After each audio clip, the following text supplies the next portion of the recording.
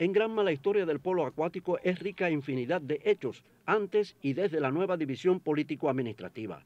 Ejemplo de ello lo es el trabajo realizado por Adonis Casal Ross, quien durante 17 años fungió como entrenador de esta disciplina deportiva en Granma, con magníficos resultados, siendo el precursor del polo acuático femenino en la provincia en el 2003.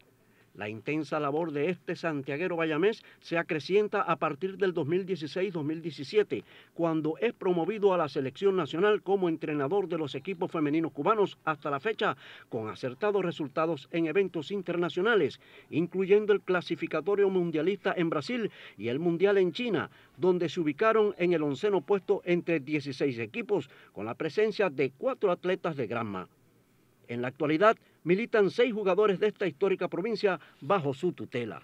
Yo soy Adonis Casal entrenador de la Selección Nacional Femenina de Cuba. Eh, me encuentro en casa con mi familia, eh, pasando esta pandemia de COVID-19. Exhorto a todo el movimiento deportivo cubano, a todos los atletas del pueblo en general, eh, que cumplan con las orientaciones que nos pone el gobierno y por lo tanto quédense en casa para que esto pase eh, lo más pronto posible. Quédese en casa.